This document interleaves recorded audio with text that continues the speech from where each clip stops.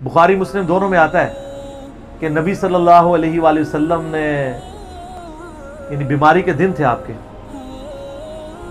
आपने फरमाया कि अबू बकर को मेरी जगह नमाज़ पढ़ाए। तो हज़रत आयशा कहती हैं कि मैंने कहा यारसलम मेरे बाप जो हैं रकीकुल कल्ब हैं।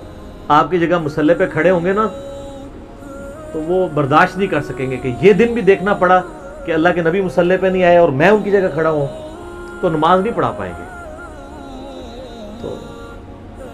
आप फरमाया ला अबू बकर को कहोगे नमाज़ पढ़ाए। फिर उन्होंने रिक्वेस्ट की नबी इस्लाम इतने गुस्से में आए।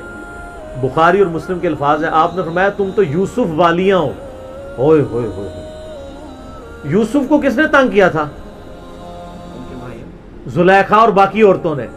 कितनी निटोरियस मिसाल थी अगर आप कंपेयर करना शुरू करें। बिल्कुल हंड्रेड परसेंट बिठाएँ तो। अगर यूसुफ को तंग किया ना अपनी तरफ़ माइल करना चाहती थी। यहाँ पे वो वाला नेगेटिव पहलू नहीं था। लेकिन यहाँ पे नबी इस्लाम ने अपनी बीवियों को क्या कहा? तुम भी यूसुफ वालियाँ हो। जिस तरह उन औरतों ने यूसुफ को अपनी मर्ज़ी के मुताबिक चलाने की कोशिश की थी तो मुझे अपनी मर्ज़ी के मुताबिक चला रही हो। अबू बकर को कहो के नमाज़ पढ़ा।